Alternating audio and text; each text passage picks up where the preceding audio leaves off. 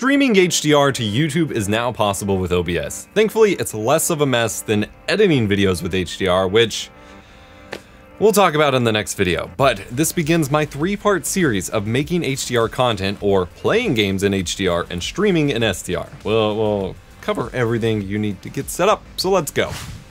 This video is sponsored by CuriosityStream. Help me keep this documentation coming and get access to my own streaming site Nebula bundled with CuriosityStream at the link below. First and foremost, HDR stands for High Dynamic Range, and it's the new video format that much of video technology is moving to. With HDR video, the higher dynamic range, as the name suggests, allows for much brighter whites in the video, allowing for an exponentially higher contrast between the white parts and the black parts of the screen, allowing for much, much more dynamic and true-to-life images. There's a bunch of different standards, it's a train wreck on PC, and it's not even worth using other than on phones or if you have OLED-based displays, but that's where things are going, so that's, we got, we got to keep up with it.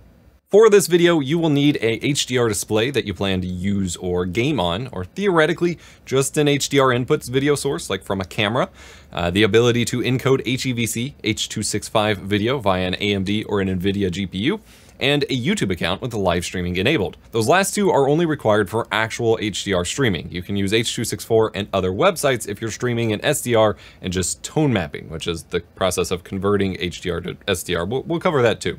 I do want to note here that while you do need an HDR monitor to engage HDR for your games to run and in order to capture them, you don't need a great one. So while a lot of LCDs only have HDR 350 or 400 modes that are what we like to call HD aren't, it's fine for making content because just like, you know, your game capture doesn't really reflect the quality of your screen, HDR is the same way. So if you want to make content in HDR but you don't have a great HDR monitor, as long as you don't have to do a ton of color grading and you're just doing gameplay footage like what you see on screen, you'll be just fine. By the way, this is all using the new OBS Studio version 28 beta. The full release build of the update should be released by the end of August-ish, and I generally recommend waiting due to the plugin incompatibility issues I mentioned in my previous video covering the beta. But this kind of functionality will mostly remain the same.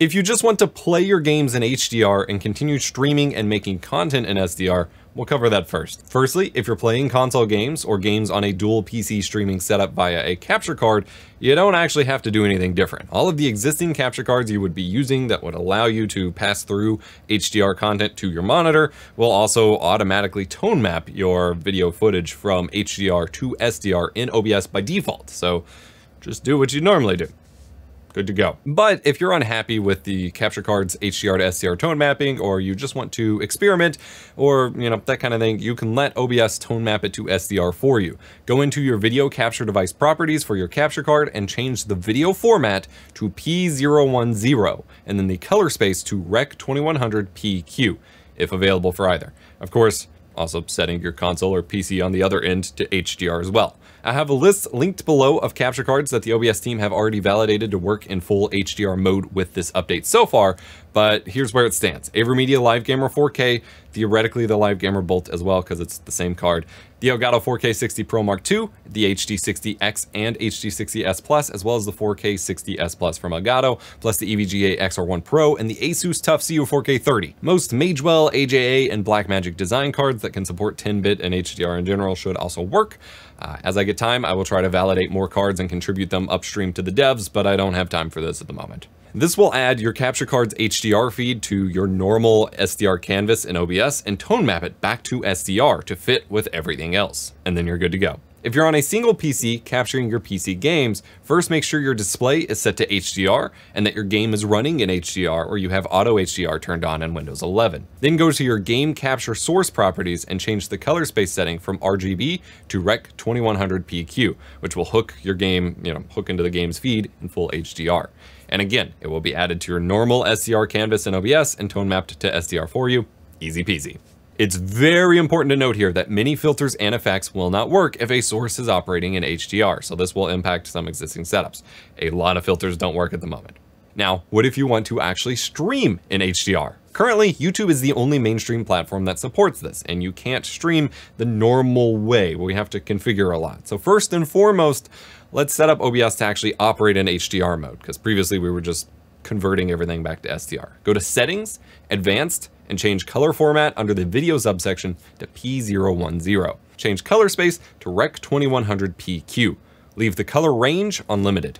Leave everything else alone unless you know what you're doing. I010 and HLG can be used instead of these settings for HDR, but they're less ideal, and P010 and PQ are recommended for most users. Click Apply, and OK. HLG and PQ are different gamma curves for HDR video, effectively complicated maths used to determine the brightness and the saturation levels of your video feed and the pixels within it.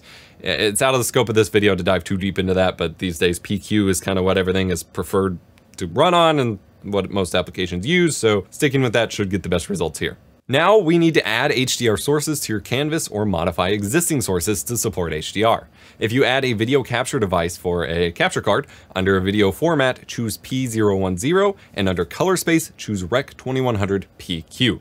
I'll have a list linked below of capture cards that the OBS team have validated to work in HDR mode uh, with this update, but here's where it stands so far the AverMedia Live Gamer 4K, and theoretically the Live Gamer Bolt since it's the same card, the 4K 60 Pro Mark II, HD60X and S Plus, and the 4K 60S Plus from Elgato, plus the EVGA XR1 Pro and Asus TUF CU 4K30. Most Magewell, AJA, and Blackmagic design cards that support 10-bit and HDR in general should also work, but they haven't been able to test just yet. As I get time, I'll try to validate more cards and contribute them upstream to the devs so that they, you know, can add it to their list, but I don't have time for that at the moment. We'll get there eventually. The beta just released. Obviously, make sure you have an HDR signal running through the capture device from a game console, PC, or camera setup, of course, or you're not gonna get an HDR feed. Click OK. Game capture sources for games running on this PC that you're running OBS on now have a new option at the bottom for color space. RGB should be left on for SDR, but if you're gaming in HDR, set it to Rec 2100 PQ and click OK. It's very important to note that many filters and effects will not work if a source is operating in HDR, so this will impact some existing setups. I covered this in a previous video covering the entire beta. This will break a lot of your else configurations if you use a bunch of filters. Most of them don't work. It's also worth noting that any non-HDR sources added to your canvas will now appear a little dim, since they are, well, they are dim compared to HDR sources. This is normal and just the consequences of mixing SDR and HDR sources together.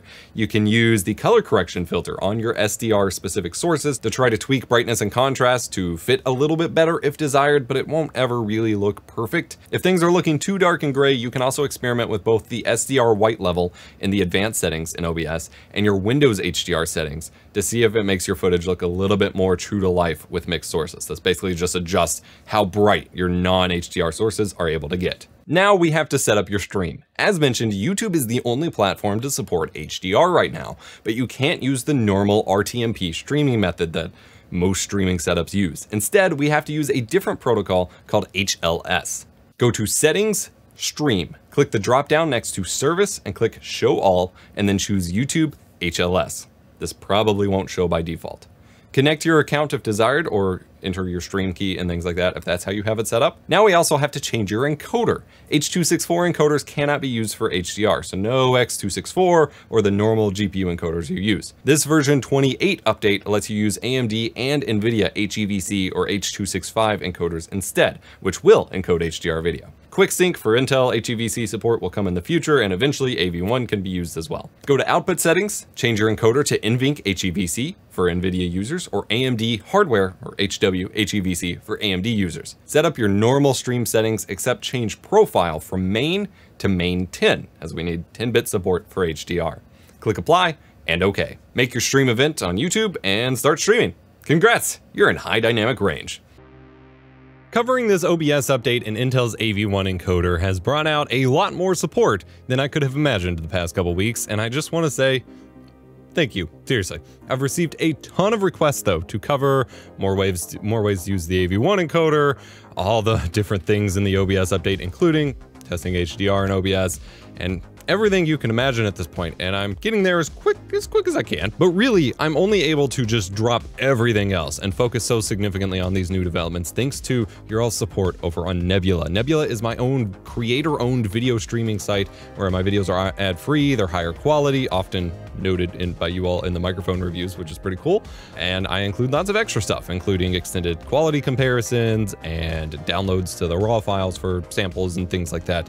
The best way to sign up for Nebula is through the bundle we've made with CuriosityStream, another video streaming site chock full of documentaries and um, just pretty stellar nonfiction work. I've been obsessed with all of the images and photos coming out from the James Webb Telescope, and CuriosityStream has a show on that right now called First Images that you could go check out. Our bundle is honestly pretty crazily priced compared to other services that I've seen in that you get access to CuriosityStream's entire library with Nebula thrown in for free for just under $15 per year. That is a lot of content for your dollar and a higher value than just about every other streaming service, which is pretty wild. Sign up for the best deal in streaming and continue to help me provide lots of documentation and the stuff we do over here as well at curiositystream.com slash ebos. Thankfully, HDR streaming isn't too complicated, but editing HDR videos gets messy. We'll cover that after I show you the recording workflow in the next parts in the series, because, whoo boy. I'm your stream professor. Remember, be kind, rewind.